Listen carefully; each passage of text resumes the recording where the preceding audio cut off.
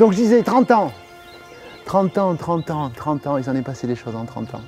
Donc ma mère a créé l'établissement, elle est toujours là, elle est toujours présente. Euh, et on s'en occupe ensemble, enfin avec l'ensemble des équipes. hein.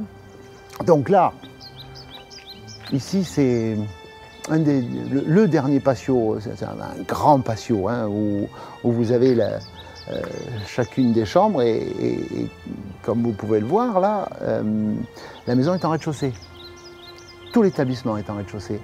Ce qui fait que on marche beaucoup, mais c'est quand même pratique parce que toutes les chambres euh, ont leur terrasse avec une vue euh, sur le jardin. Et comme le jardin a son importance, puisque vous êtes au jardin de Flore pour euh, Florence, puisque c'est le prénom de ma mère, donc jardin de Flore, Flore, Florence.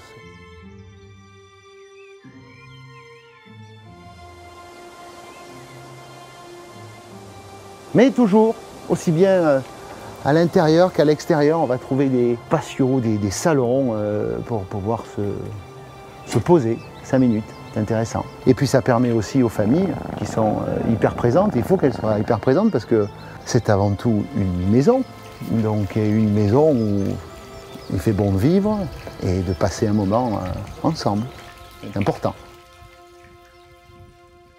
Ça, c'est les travaux. Ils sont en train de faire les bacs. Et donc on va agrandir le bassin. Oh. Cet été, c'est prêt. C'est pas vrai. Ma parole d'honneur. Je me fais engueuler. Mais bon, c'est normal. hein.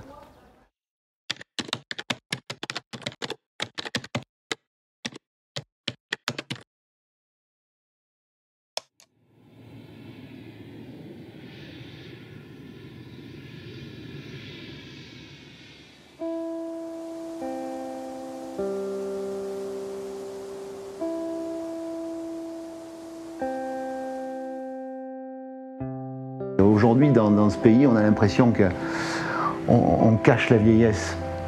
C'est pas le, c'est pas la bonne méthode, je pense pas. Euh, je suis trop petit pour euh, prétendre euh, et donner des idées à tout le monde, mais euh, ça sert à rien de la cacher. Elle est inéluctable. Ici, comme je le dis souvent, on ne soigne personne. Nous avons des, personnes qui sont âgées, fatiguées, mais pas forcément malades. hein. Il ne faut pas qualifier la vieillesse de maladie. C'est tout sauf une maladie.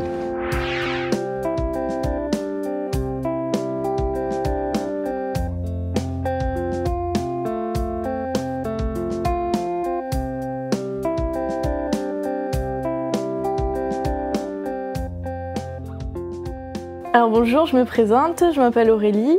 Euh, je suis la petite fille de Alice Jaouen qui était euh, ici de 2008 à 2014. Euh, ses enfants l'ont mise ici suite à Alzheimer. Euh, elle a toujours rêvé de venir dans un complexe euh, très euh, coloré où il y aurait beaucoup d'activités, où elle pourrait avoir des copines, où elle, aurait besoin de penser à rien. Et au final, c'était l'endroit idéal pour elle. Elle se sentait comme dans un hôtel 5 étoiles. Même moi, en tant qu'enfant, j'adorais venir parce qu'il y avait toujours plein de petits recoins, plein de petits salons privés. On se retrouvait en famille, elle faisait plein d'activités avec les autres résidents. C'était super sympa.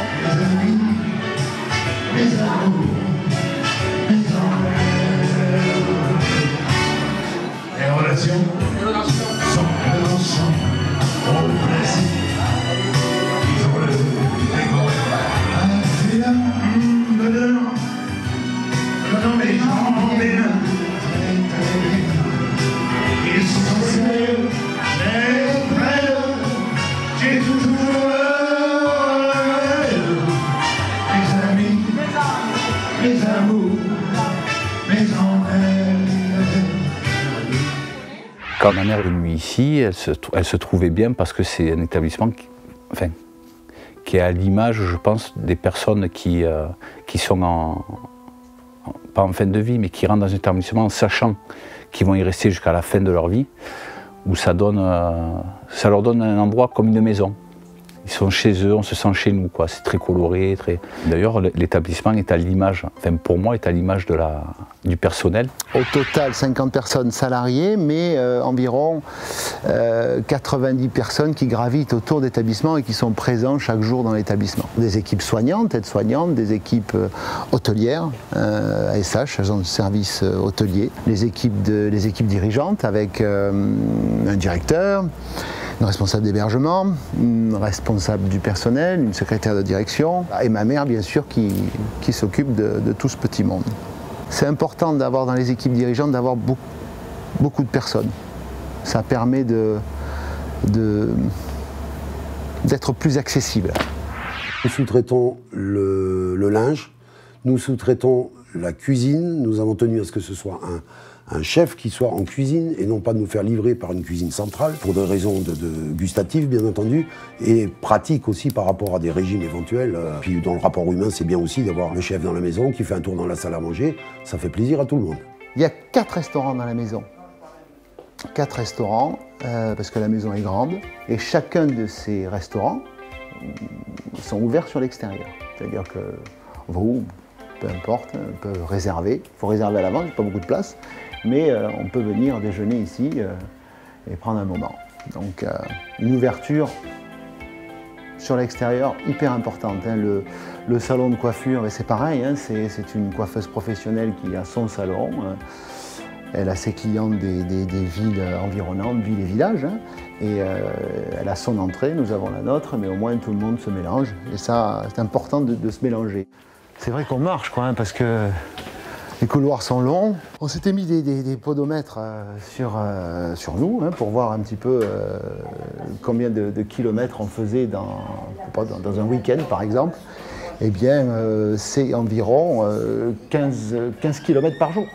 Et là, au fond, c'est Siem qui s'occupe du secteur cocody et de toutes les personnes qui sont là.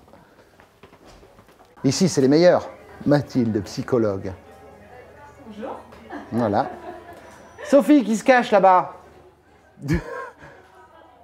Infirmière coordinatrice. Hein, c'est un rôle pivot dans la maison, ça. Voilà, il y a des, des petits salons partout, hein, c'est important ça. Ça, de, de- de- de- de garder un petit peu euh, euh, cette intimité.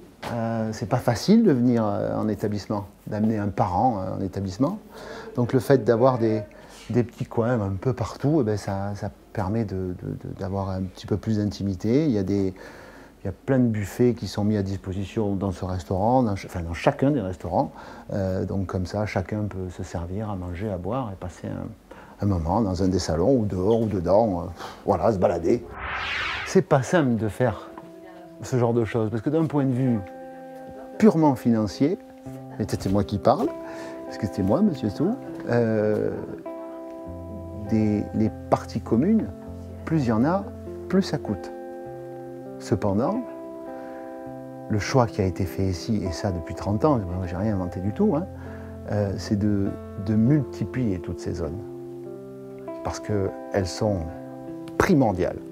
Il ne s'agit pas d'avoir une grande pièce, mettre tout le monde là-dedans et, attendre que ça, passe. Non, au contraire, il faut que ça vive, il faut que ça circule, il faut que les gens trouvent leur place dans un des salons et, vivent tout simplement leur journée. Quoi. Mais toujours, on marche, mais quand même, un petit coin, on se pose, on prend le temps. Il faut prendre le temps. Le problème, c'est qu'aujourd'hui, on ne prend plus le temps. Euh, ça, je parle côté travail. Le, gros truc aujourd'hui, c'est on n'a pas le temps, on n'a pas le temps, on n'a pas le temps. On a parfaitement le temps. Euh, simplement, il faut, se donner les moyens de le prendre, ce temps.